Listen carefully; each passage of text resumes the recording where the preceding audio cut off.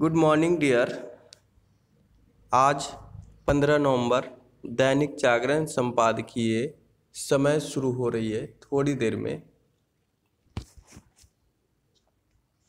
Start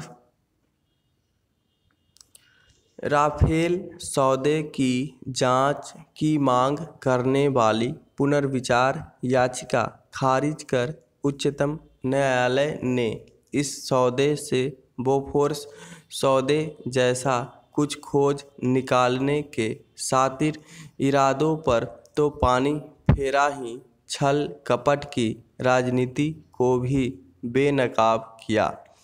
यदि उच्चतम न्यायालय ने इस सौदे में संदेह करने का कोई कारण नहीं पाया तो इसका मतलब यही है कि जो लोग इस सौदे को संदिग्ध बताने पर तुले थे।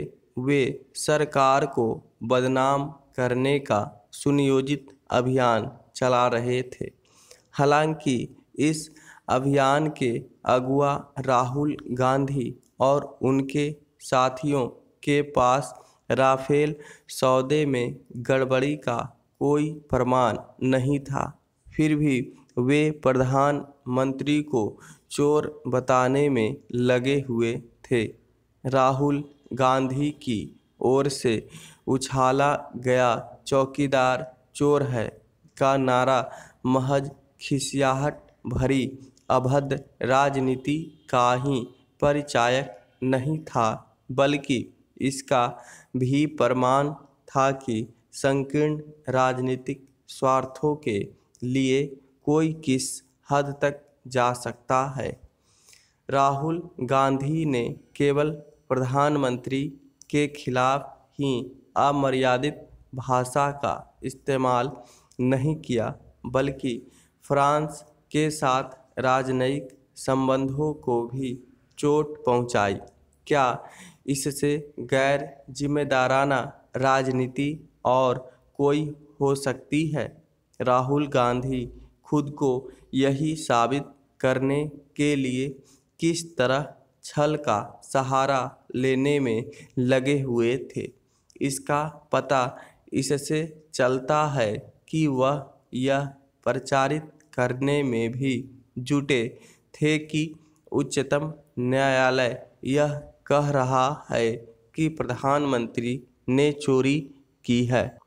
भले ही इस सियासी शरारत के लिए उच्चतम न्यायालय ने उनके खिलाफ कोई कार्रवाई करने की ज़रूरत न समझी हो, लेकिन आखिर वह उस जनता का सामना कैसे करेंगे जिसके समझ वह राफेल सौदे में गड़बड़ी के हास्यास्पद और मिथ्या दावे किया करते थे।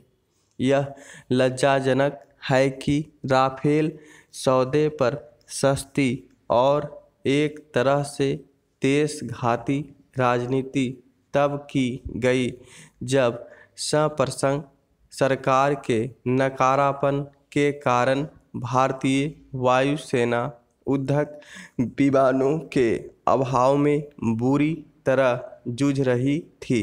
आखिर किन संकीर्ण स्वार्थों के लिए राष्ट्रीय हितों की जानबूझकर अनदेखी की गई? यह आपराधिक किस्म की राजनीति थी। ऐसी ही हरकतों से राजनीति बदनाम होती है।